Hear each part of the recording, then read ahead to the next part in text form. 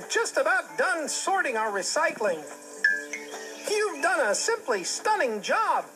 Just one more thing down here. Uh, what in tarnation? Hey, what is my Gnomes on Ice juice glass doing in here?